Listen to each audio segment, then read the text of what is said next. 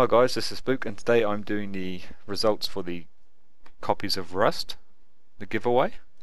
Um, I've got all 53 names in front of me. They've all been put through a, a mixer 10 times, so the list is in no particular order. And I'll now pick two at random from a random name picker. And them two people will be the winners of the um, of the games. Okay, so the first winner is the ex bow hunter. Well done.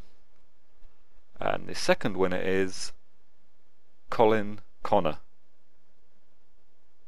Well done to you too. Um, I'll now send you both a message on YouTube to get in touch further, and then I'll be sending the games on to you. So check your inboxes, you two, and get back to me. Um, uh, actually, we'll do a third one. We'll do a we'll do a third winner. Okay, and the lucky third winner is Mahak. Mahak. So I'll be sending a message to you three. Get back to me as soon as you can.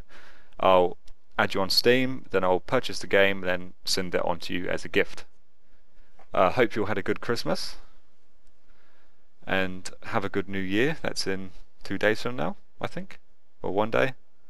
Yeah, something. Um, yeah, thank you for watching.